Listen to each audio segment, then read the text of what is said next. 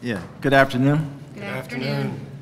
Uh, I call my presentation Disrupting the Pipeline to Prison in New Orleans, uh, 2005-2015. What's important to understand, of course, is that the history of police violence against black bodies in New Orleans has a long, long history. So is our fight back against police violence, police terror. In fact, in New Orleans, we don't even call it police brutality anymore. We call it police terror because that's what it actually is. It is terror. It is systematic, it's organized, and it's aimed at keeping black folks in their place.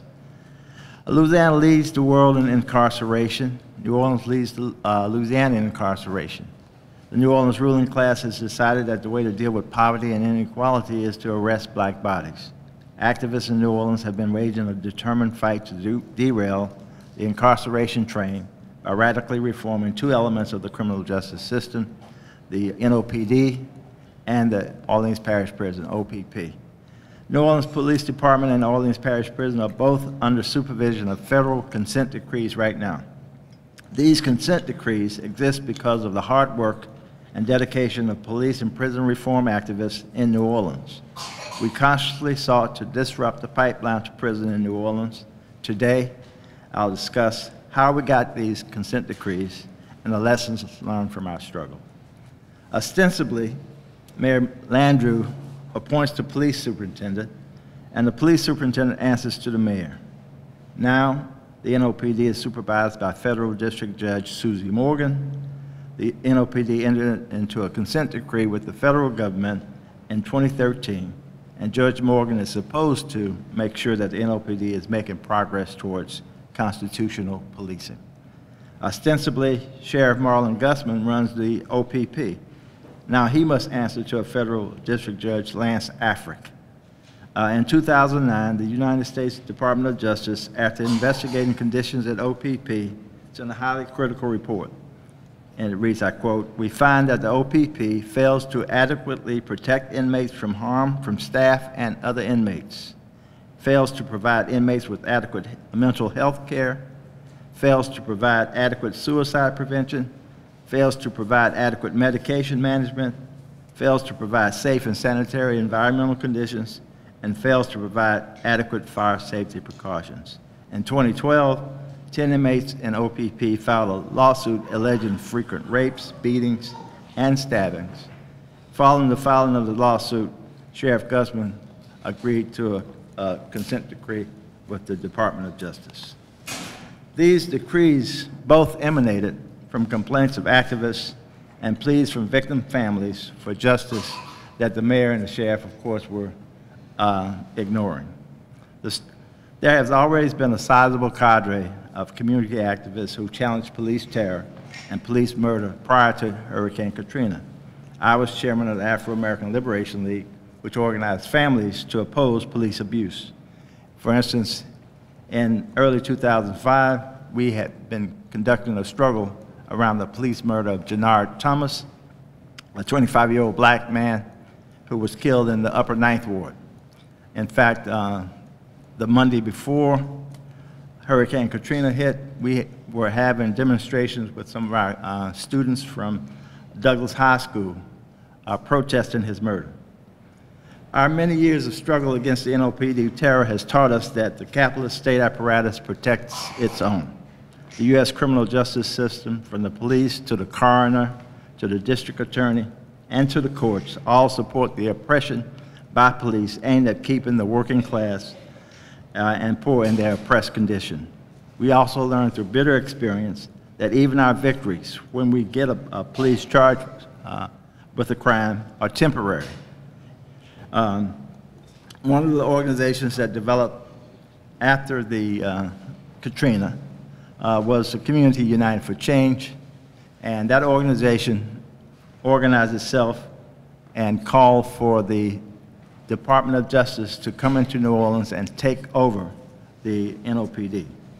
Uh, this was issued, of course, because nothing was done about the murders that occurred on the Danziger Bridge, and the local justice system would not prosecute these murderers. In the aftermath of the massive flooding in New Orleans after the levees broke, news reports re-victimized black New Orleanians by portraying them as lawless looters. Governor Kathleen Blanco announced that she was dispatching the National Guard to New Orleans with the orders to shoot looters. Warren Riley, deputy police chief, was reported as having given orders to cops to fire at will on looters. The NOPD acted on these instructions.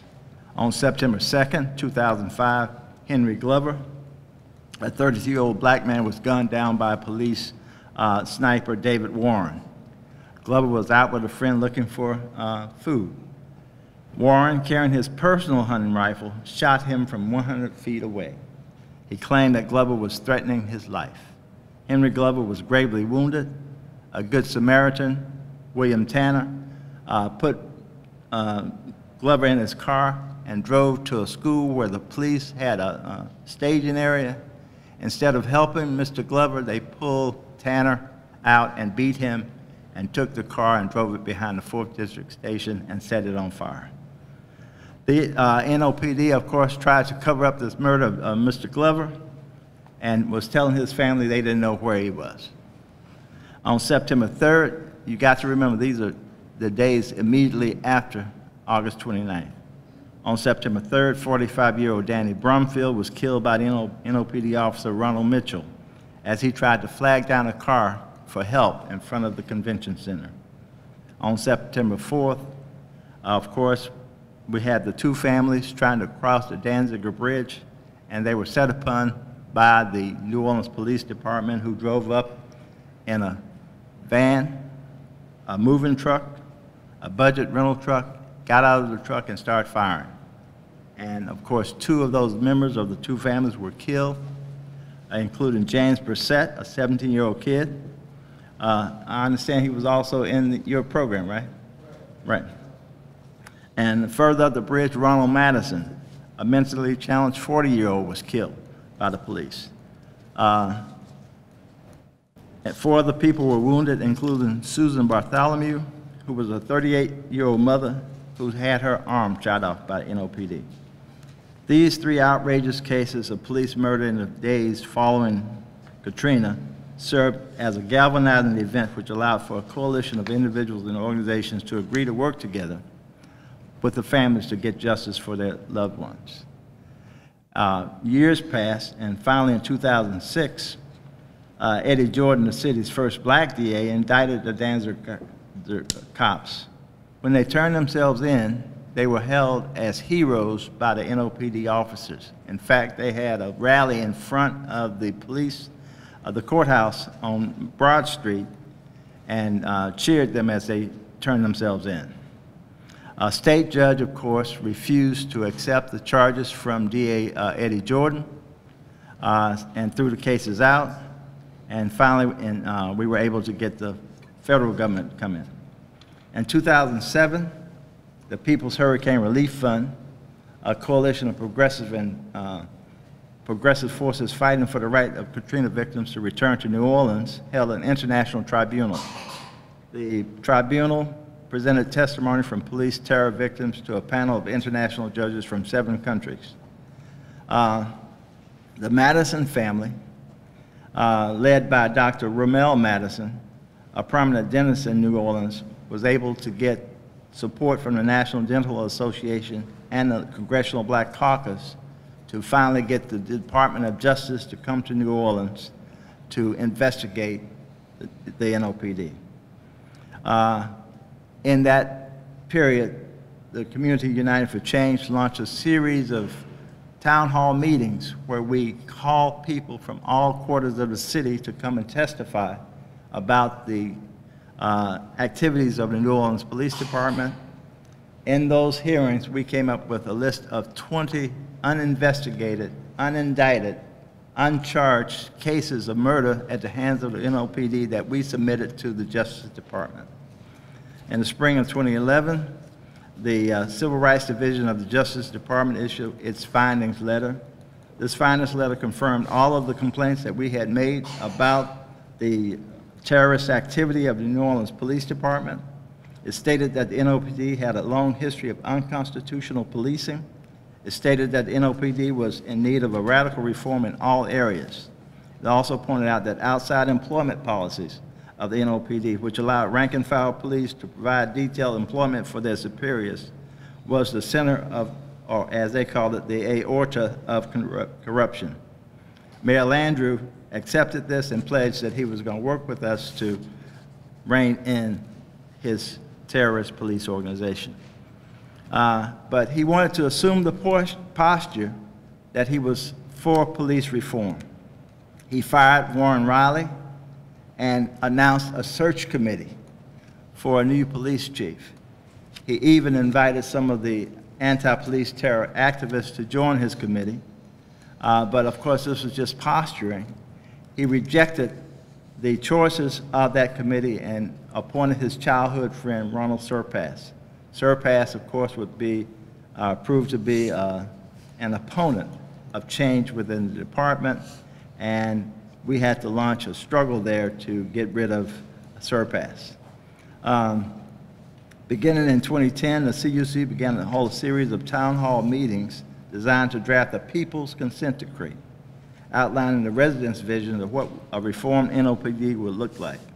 The people's consent decree included demand for body cameras on police, a 20-hour limit on outside employment of police officers, a residency requirement, and most im- important, a civilian review board with subpoena power to investigate charges of police misconduct.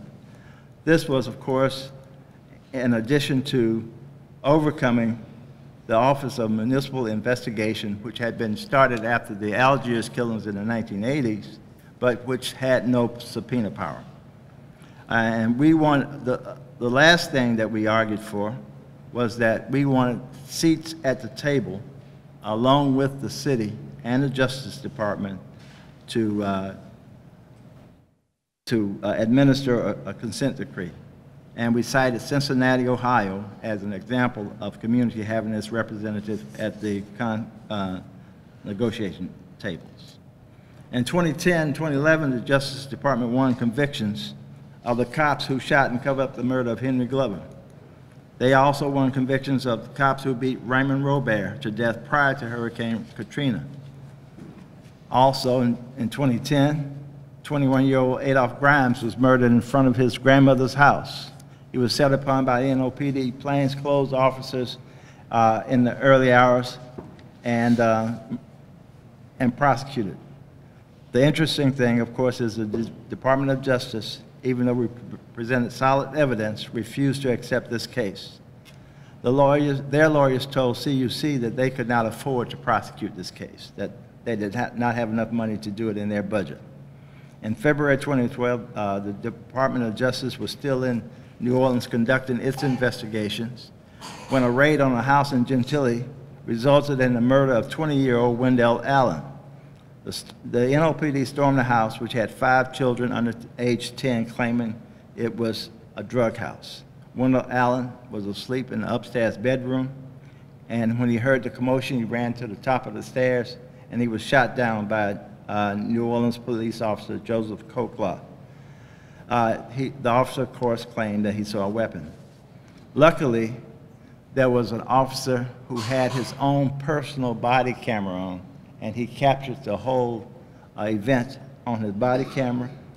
And instead of confessing that this was a bad shoot, uh, they went after the officer with the body camera and tried to prosecute him for uh, bringing uh, outside uh, materials onto the job.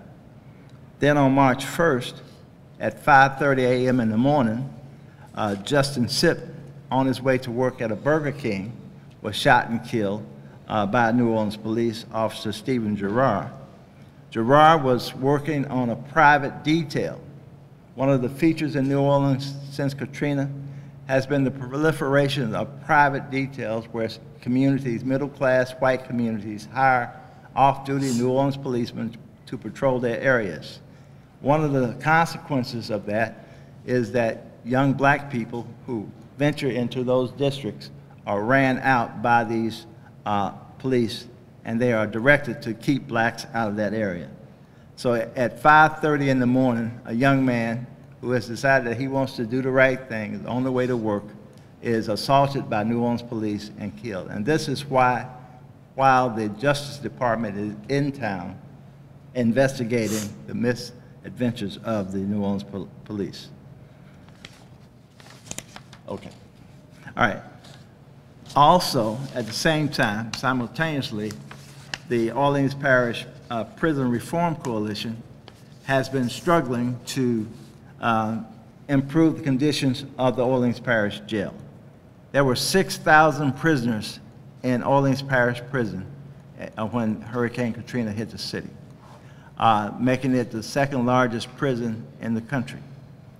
And we were uh, uh, campaigning to reduce the number of inmates.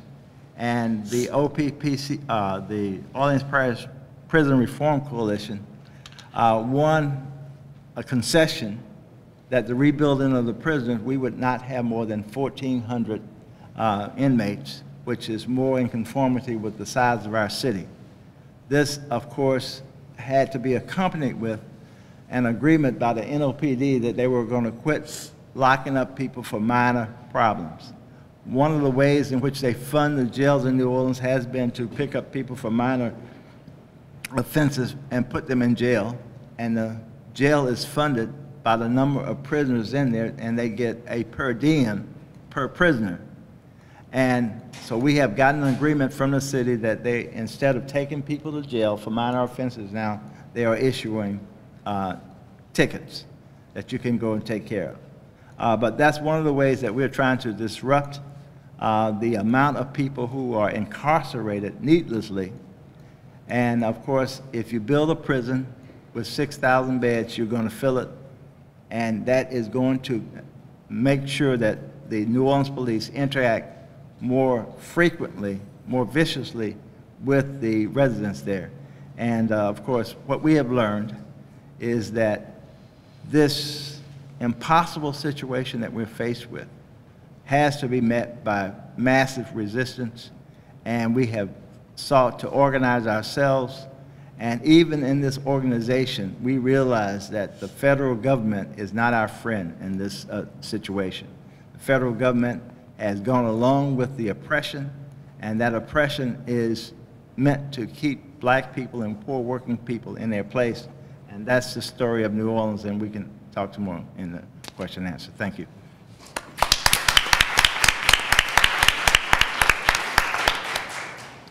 Hello? Can you hear me if I talk from, no, that's not working. Hello? Hello? Hello? Yeah, there we go. Cool, great, thank you. Um, Keep it really close. Okay, great. Um, I want to thank, um, first of all, Jordan, who called me last spring telling me he was thinking of this event and how excited um, I was. And it's just really um, unusual to get to have so many amazing people together in a space um, to talk about the storm in such critical, thoughtful, non lying ways, which is so much of what there's been the last 10 plus years. Um, so I'm going to actually build off of some of what Malcolm was just talking about. Um, I've been trying to think a lot about incarceration in Louisiana for about 10 years now and realizing how much I need to think back in the 1870s and the 1970s. So I'm going to take us back a bit today. Um, so as Malcolm was just alluding to some, in the immediate aftermath of Katrina, news circulated about the failure of the city to evacuate Orleans Parish Prison, the New Orleans City Jail. Over the next several months, details emerged about the organized abandonment that produced the overwhelming chaos that left thousands of primarily black prisoners locked up in that flooded jail. Of note to multiple parties, including the ACLU and their critical report, Abandoned and Abused, was the extent to which state prisoners, individuals who had already been sentenced and in most other places would be locked up in a long-term prison, were being held in OPP.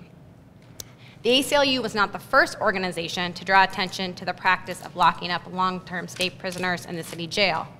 For more than a year prior to the storm, community activists with OPPRC had highlighted that this practice was a key factor in the ballooning of OPP to in, in like 0405 to over 7,000 beds for a city of a population at the time of 450,000 residents.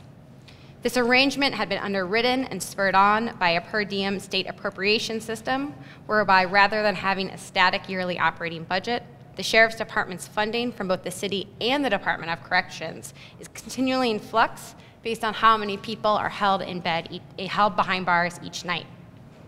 Organizers with OPPRC RC and others have pointed out that this system of appropriating funds incentivizes the locking up of more and more individuals, and sheriffs, not just in Orleans Parish, but across the state, vying for state prisoners to be placed in their particular jail.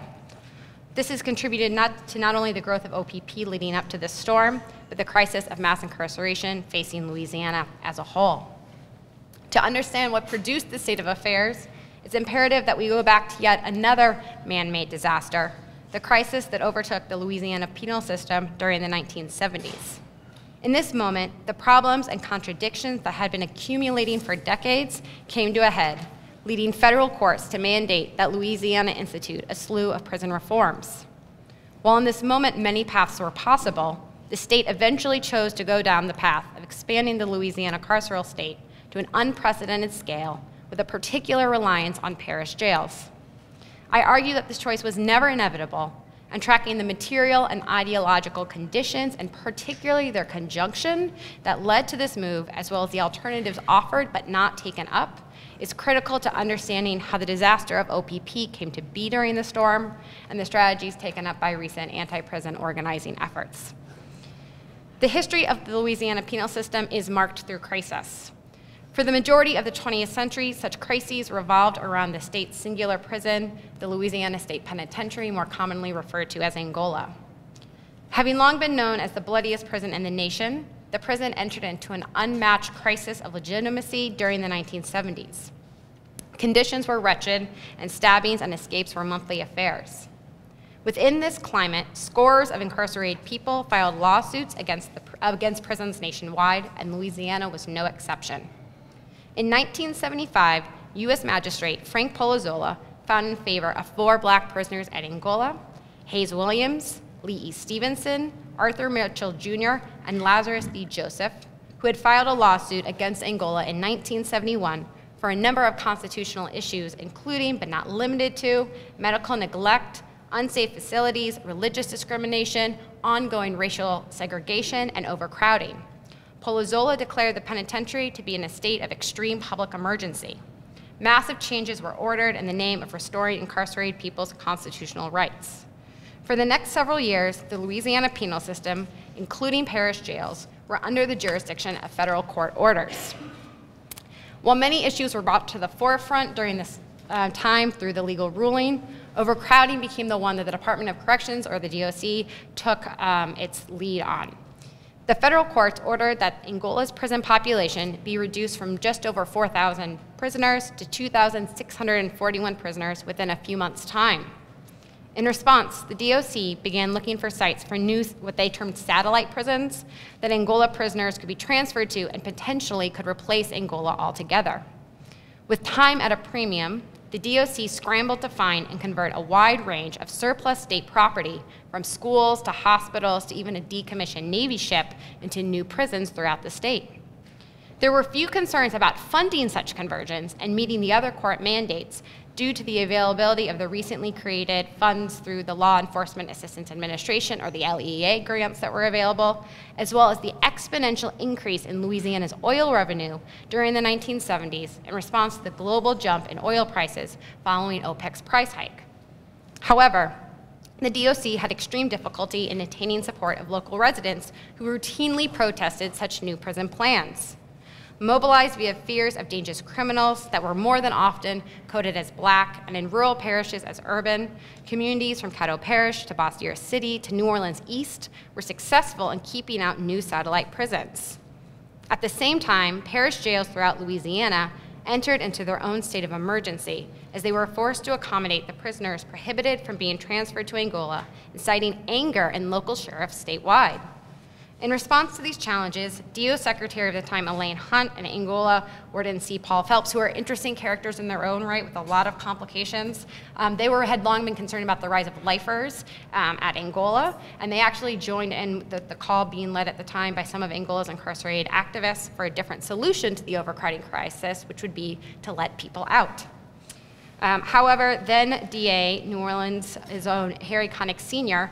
was adamantly against such proposals. At the time, Connick was in the process of building his career on the racist, tough on crime policies and politics sweeping the nation. He routinely attacked DOC officials in the press for advocating early release and alternatives to incarceration. In fact, in the same months the federal court orders were coming down, he successfully pushed for more punitive policies. Oh, am I? Thank you, Jordan. Um, for more punitive policies and practices through working with the NOPD to attain LEA grants to expand the department's policing powers. In addition, he personally drafted dozens of draconian crime bills that instituted mandatory sentencing, reduced good time, and parole, um, with the increasingly law and order state legislature more than happy to pass these laws. With arrest rates going up, sentencing becoming harsher, and the number of people being paroled steadily dropping, overcrowding pressure intensified across the state. Um, by the decade's end, it was clear that Louisiana's politicians were attempting to build their way out of this overcrowding crisis. Three new prisons were built in just a few short years, with more on the way, and thousands of new beds were added to Angola to more than double the state's prison population from 3,550 people in 1975 to 8,661 people in 1980. This unprecedented carceral state building project was emboldened and buttressed by the 1980 election of David Treen, who had explicitly campaigned on a tough on crime platform, and by Polozola, who's now a federal judge, who began to mandate that Louisiana deal with its overcrowding crisis through the creation of new prisons. Yet, as incarcerated activists with the Angolite and the Lifers Association noted, as well as free world prison reformers, growing the state's carceral apparatus did not solve this crisis, but propelled further overcrowding. The ongoing overcrowding at the prisons further increased pressure on dozens of parish jails that were relied on yet again to house thousands of state prisoners, leading to overflowing jails from New Orleans to Lafayette. In the case of New, Orleans, the situation became so dire that in the summer of 1983, then Sheriff Foti erected a tent jail to expand the capacity of OPP by a couple hundred beds. While sheriffs everywhere were frustrated by the situation, their responses to such overcrowding was markedly different in the early 1980s than it had been in the mid 70s. When parish jails had filled to capacity in response to the 1975 court orders, sheriffs lobbied to get state prisoners out of their jails. But only a few years later, sheriffs collectively petitioned the state, on one hand, to get so called violent offenders out of their jails, but they also pushed for more funds to renovate and expand their jails to make space for both folks awaiting trial as well as for more state prisoners.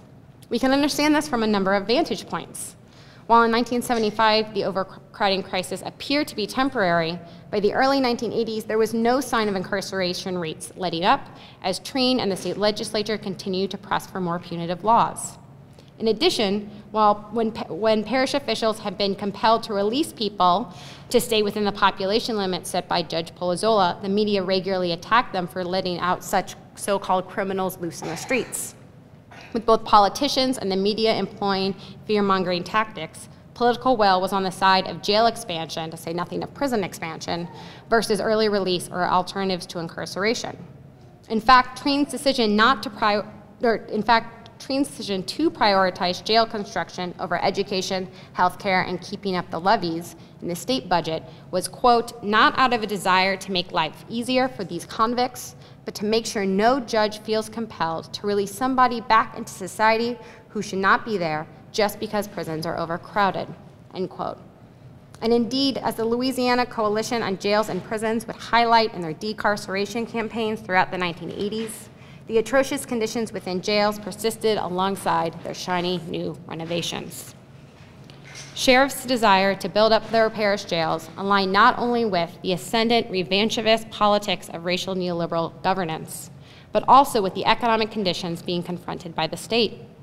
When sheriffs were first required to take in state prisoners in 75, it was a financial burden since the DOC was paying the sheriff, the sheriff department a per diem rate of only $4.50 a day. But as the overcrowding crisis wore on, local parish officials, including sheriffs, successfully petitioned the state to increase the per diem to $18.25 by 1980, which is quite a leap. The higher per diem rate made sheriffs much more amenable to housing state prisoners as they were able to use these funds in any which way they wanted to expand their carceral apparatus. What's more is that this per diem system met the financial needs of the broader state as well. Since so called redemption, aka the Jim Crow regime, Louisiana had been loath to finance the penal system. To meet the 1975 federal court orders, the state was required to increase funding to the DOC on an unmatched scale. The DOC budget during this time shot up from $20 million in 1974 to $135 million in 82, with tens of millions of dollars being spent on new prison construction, which, as previously mentioned, had been financed primarily through the boom in the oil economy. Yet, as oil dependent economies are notoriously precarious, Louisiana entered into economic crisis in the early 80s as oil prices began to fall. While at this time, Louisiana switched to primarily financing prison construction through bonds, such debt financing, financing schemes cannot be utilized to fund the DOC operating budget. Thus, expanding jails to house state prisoners was a more financially viable option, given that even with its increase, the per diem system rate is significantly below the cost of keeping someone locked up at Angola, St. Gabriel, Dixon, or any of the other state prisons. What had started out as a temporary spatial fix had become the long-term geographic solution to prison overcrowding. By 2000, which uh, by this point Louisiana gains the title of having the highest incarceration rate in the nation, almost half of the state's prisoners were behind bars in parish jails, with OPP as the largest jail in the state. When the levees broke on the morning, um, when the levees broke on the morning of August 29, 2005, this arrangement had become so normalized that parish jails were routinely referred to as local prisons. The brutal and violent conditions that the individuals who happened to be locked up in OPP found themselves in the hours, days, weeks, and months following the storm was not an instance of the criminal justice system breaking, but the logical result of the accumulated decisions made by a racial capitalist state in crisis.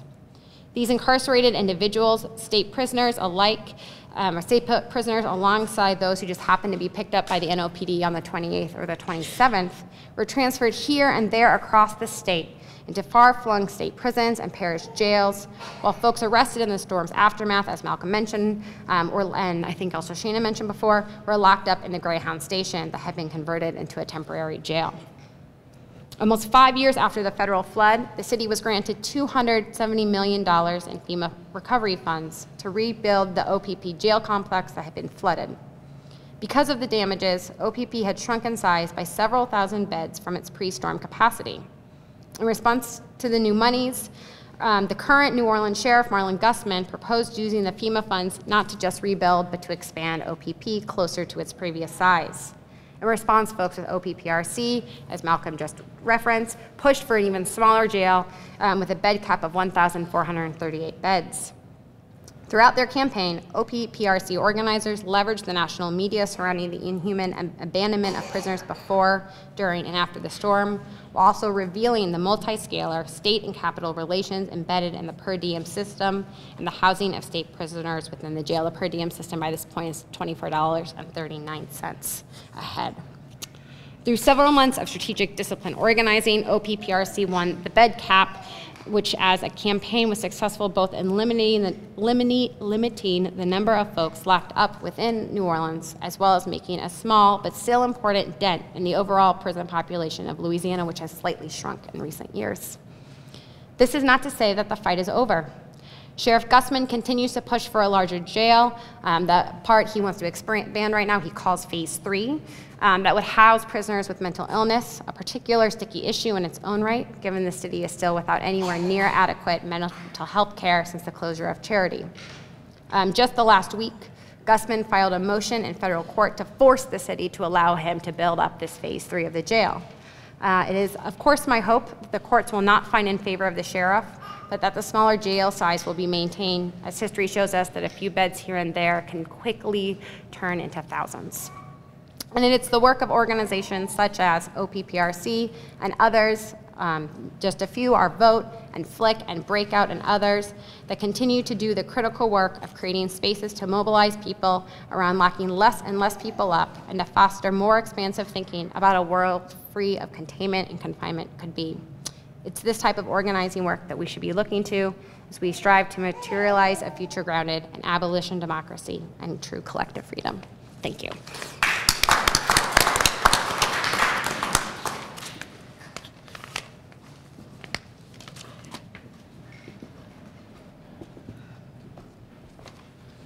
Good afternoon. Good afternoon.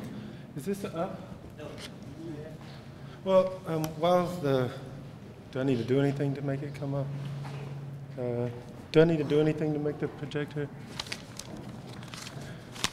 While that's coming up, let me just um, say uh, to jury, thank you so much for the introduction and for moderating the panel. And I'm really delighted to uh, be in conversation with my distinguished colleagues. And let me just say, I look up at this room, I'm, I'm, a little nervous. I think I've learned everything I know from the people here. And that's quite literally in some cases. Uh, when you read my book, you're in my footnotes, you're, on, you're in my library. This is like what I've been studying coming to life. So I'm really uh, humbled to get this opportunity to uh, present my work. So without further ado, let me just jump right uh, into it.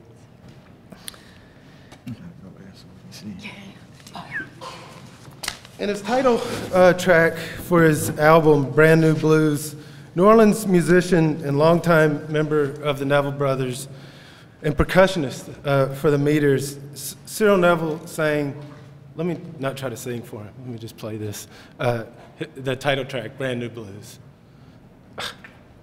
of course.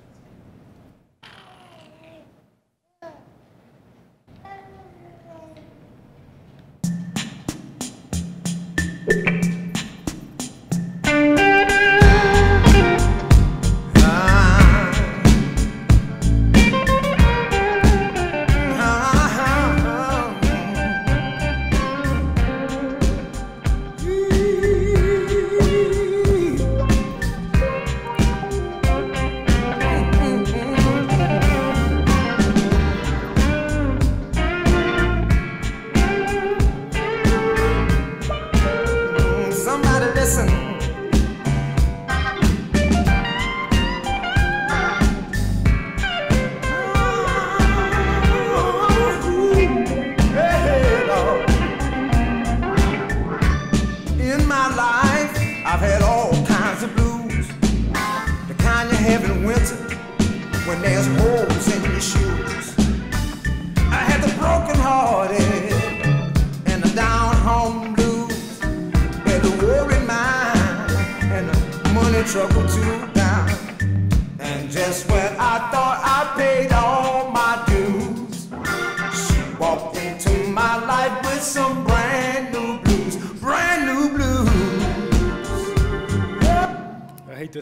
Cyril Neville. Uh, but the, the track and the song blends blues, funk, and soul to provide a poetic critique of the conditions in New Orleans after Hurricane Katrina.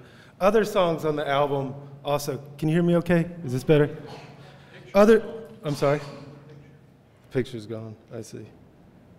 Uh, having all kind of trouble here. Okay, so other songs on the album provide cultural criticism of the conditions. He says, you know, spending my money like it wasn't funny.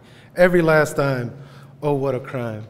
What I want to argue today is that as journalists and social scientists, many of them declared a so called end of neoliberalism in the wake of these events, Neville provided the perspective of the brand new blues, a way of seeing that resonates with audiences who continue to experience the crippling effects of the neoliberal carceral state.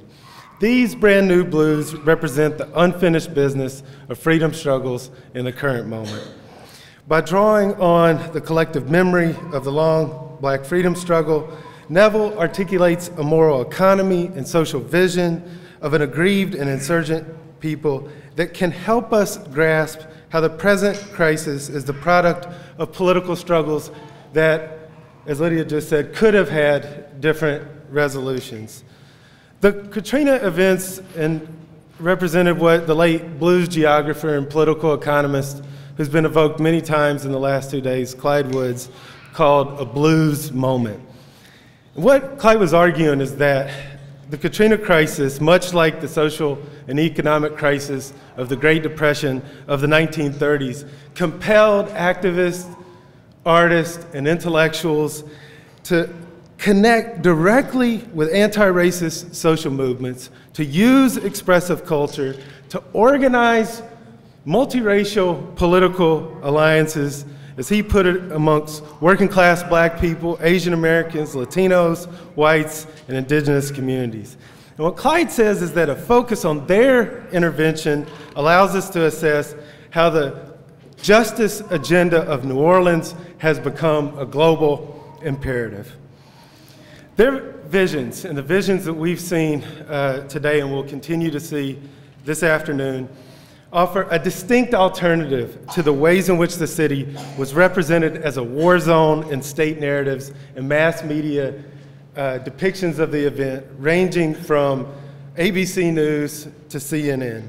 The New Orleans Police Department was, was directed to stop its rescue mission and focus on security and law and order as Black Hawk, Black Hawk helicopters hovered over the streets. Simultaneously, Popular media representations depicted black and poor survivors of the hurricane, as has been said, as criminals and looters. And I won't say this again, but just to underscore, then Kathleen Blanco gave shoot to kill uh, orders to National Guard soldiers who were fresh from the war in Iraq in a domestic mission she described as urban warfare.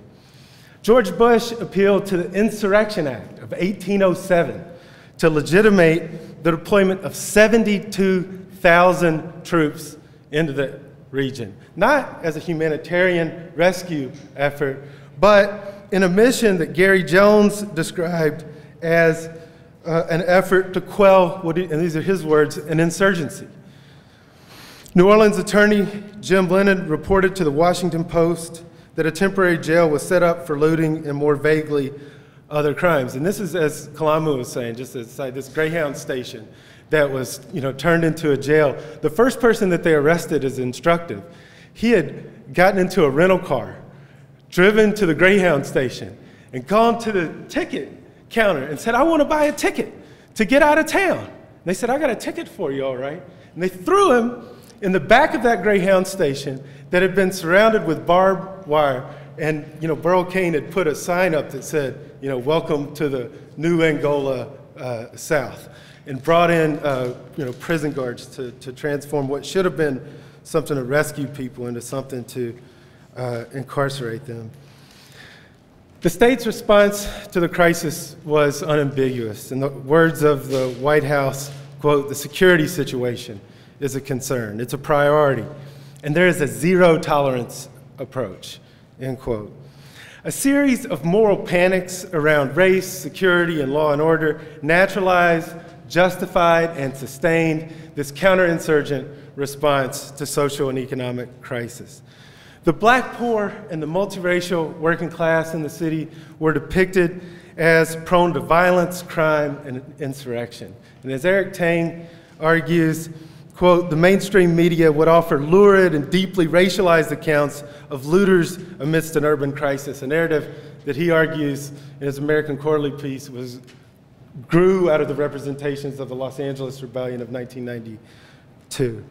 Such purportedly colorblind discourses of illegality, violence, and disorder justified the deployment of carceral reactions to crisis in the city with the highest rate of incarceration of anywhere in the country, and of course, in the country with the highest rate of incarceration anywhere in the world, with a rate of 1,480 per 100,000 residents. The Louisiana state prison population increased 285% between the early 1980s and the early 2000s. Black people were incarcerated at a rate almost six times that of whites, and black women in particular were the fastest growing sector of the prison population. Louisiana's expenditures on policing and prisons constituted a growing sector of the state's budget, which in turn led to dramatic decreases in expenditure for education. So we have to see this as we're thinking about uh, change as an exchange brick by brick. Literally, what could have gone into education, you know, went into incarceration. And as Malcolm laid out so eloquently, the clear majority who were incarcerated were for small time uh, violations like parole violations. This data and the evidence uh, from one uh, report suggests that the state's Revanchist response to the Katrina crisis intensified the pattern of migration that the criminal justice system had been supporting for years. Large number of people, mainly poor and black, from the poorest neighborhoods in the city were displaced into the carceral system. All of these numbers bespeak a collision of race, class, and carceral state power without historical precedent, but certainly not without historical explanation. The ascendance of these neoliberal regimes of militarized policing and mass incarceration have carried with them the stamp of legitimacy. The making of the neoliberal carceral state has been accompanied by the production of a racist common sense. That is, a kind of idea that this is a natural, inevitable uh, outcome that's out of nature rather than politics and economics. Common sense narratives of security located the source of social problems in the culture and behavior of the racialized poor. These purportedly colorblind discourses justified the everyday and routine surveillance of working class communities of color as natural responses to purported illegality, criminality, and chaos. As the geographer and political economist Ruth Wilson Gilmore has influentially argued, and if you haven't read that, students of Brown, uh, I hope you will, this needs to be understood as a geographical response to a political and economic crisis. The expansion of the carceral state was also accompanied by the articulation of a historically and geographically specific definition, uh, uh, ideology of racism, which Gilmore describes as the production and exploitation of group differentiated vulnerability to premature death. Yet, what I want to suggest today, and I think that the presentations that we've seen and will continue to see suggest, is that the crisis also represented an opportunity to confront this racist common sense, and it led to a public debate about inequality in the US on a scale that hadn't been seen uh, since the LA events in 1992. It showed, as Cindy Katz so powerfully uh, explained this morning, the nefarious effects of the withdrawal of the social wage, persistent patterns of racial segregation, deepening social polarization, and as she describes, the erosion of the means of social reproduction. Neoliberals in the city appealed to moral panics as part of an effort to secure consent to coercion. Consider, for example, the work produced by the neoliberal intellectuals of the Manhattan Institute, such as the writer uh, whose, I believe, article is, is pictured here, Nicole Gelinas, in the wake of the storm. She penned a series of pieces blaming social problems in New Orleans on the purported behavior of what she described as an entrenched underclass who she asserted promoted a culture of violence, drug dealing, and drug use in public space. In turn, Gelinas claimed that the inability of the police to control the situation reflected what she described as a deeper cultural problem. This problem purportedly grew from what she described as political cor correctness, that she says prevented local elites from pursuing appropriate solutions to the crisis. So, yes, what does she consider appropriate solutions to the crisis? Anticipating a visit to the city by President Bush, Gelinas celebrated the administration's deployment of an additional federal law enforcement and the National Guard, but argued that such military responses to this crisis were insufficient. Gelinas writes, quote, it's an enduring mystery why Bush hadn't used Katrina to show the world that America can rebuild a major city using bedrock conservative principles law and order first. Indeed, she argued that the state hadn't been authoritarian enough before or after the storm. She says the New Orleans Police Department couldn't keep order before the storm, I mean, after the storm, because it could not keep order before the storm. These intellectuals promoted carceral solutions to the crisis particularly through the depiction of poor residents as lawless, workless, criminal youth, and members of a purported underclass. And here's what's critical they transformed an unnatural social crisis into a political pro- program that blamed the vulnerable as the source of their own vulnerabilities to premature death. As has already been said, the entire teaching staff of the public school system in New Orleans, which is 7,500 workers, was fired, busting one of the most powerful unions uh, in the city. And I won't go, I went into more detail about some of the response. I'm just going to summarize here and say that what I think is most important is for me to foreground uh, the visions of the activists and artists who responded to this crisis and suggested that alternative outcomes were possible. In his introduction to the edited volume, What Lies Beneath Katrina, Race, and the State of the Nation, poet, editor, and educator Kalamu ya Salaam suggests the fierce urgency of linking the reflections of activists and artists with the vernacular culture at the grassroots to articulate a philosophy of praxis. And I'm quoting here. There's no substitute for face to face organizing around the needs of specific communities. It is critical that this struggle be a dynamic of praxis, a constant evaluation and realignment of thought and practice. In 2006, the poet and performer Sunni Patterson, who we heard last night, was an MC for a historic event organized by more than 100 groups to commemorate the year of struggle for the right to return and reconstruct the city. Community Labor United and the People's Hurricane Relief Fund, which Malcolm just talked a bit about, played key roles in this event. They fought for the right to return, to reclaim public housing, enforce rent control, and dramatically expand budgets for social programs such as education, hospitals, and unionized public sector jobs. They organized the march of thousands of Katrina survivors from across the country, which began where the levees broke in the lower Ninth Ward and ended in a demonstration on the first anniversary of the storm in Congo Square, a symbolic epicenter for resistance, freedom dreams, and African American expressive culture. To conclude, what I want to suggest is that these visions that grew out of the social movements in New Orleans through the opposing perspectives of the contentious event into razor sharp relief. They offered a critique of the conditions that have been created by structural and environmental racism, by gentrification, by neoliberal globalization, by mass incarceration, and by the militarization of the city. And they suggest that there could have been and still could be a different world in the making.